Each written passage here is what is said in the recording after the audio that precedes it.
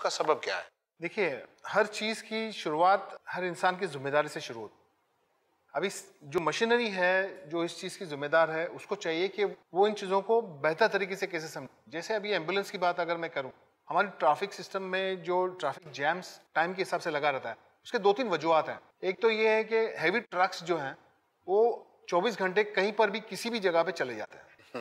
ठीक है? सबसे पहले तो ये है कि उनको रोका जाए उनको टाइम लिमिट दी जाए कि आप इस जगह पे इतने वक्त से ना जाएँ ताकि एक रास्ता होगा जिससे ट्रैफ़िक को काफ़ी सहूलत मिलेगी आने जाने वाले लोग पहली बात। दूसरी बात एंबुलेंस की जो इम्पोर्टेंस है वो ड्राइवर्स को समझ में आना चाहिए जो गाड़ी चला रहा है। ट्रैफ़िक में मौजूद है लोग। वो उनको समझ में आना चाहिए क्योंकि लाइसेंस लेने के वक्त हर चीज़ बताई जाना भी ज़रूरी है और जाती है। जैसे टैक्सी वालों को बताया जाता है कि तुम ये कसम खाओ कि तुम जिसको बिठाते हो उसको मंजिल मकसूद तक पहुंचाओगे ये तुम्हारी ज़िम्मेदारी है।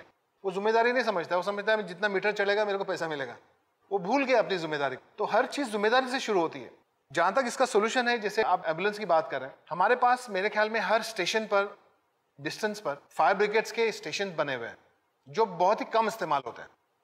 अगर एंबुलेंस को उससे कोऑर्डिनेट किया जाए, और एक एक एंबुलेंस हर स्टेशन पे खड़ी कर दी जाए, और कॉल के ऊपर उनको, जैसे नॉर्मली बाहर, ममालिक में ऐसे होता है, वो हर चौराहे पर एक एंबुलेंस खड़ी नहीं करते हैं। उनको पता है ये एक स्टेशन है यहाँ पे एक एंबुलेंस खड़ी कर दो। अगर उसको कॉल आ गया कि बैंड्रा में कुछ हुआ है तो बैंड्रा के नज़दीक वाला जो फायर ब्रिगेड होगा वहाँ से एंबुलेंस निकलेगी। तो जो ट्रैफ़िक उसको दादर से लेके आना है वो लेके नहीं आएगा। तो इस तरह से कुछ मसले ऐसे तो होते हैं जो हल किए जा सकते हैं। वहाँ तो कमाल है within five minutes you will find ambulance reaches to the place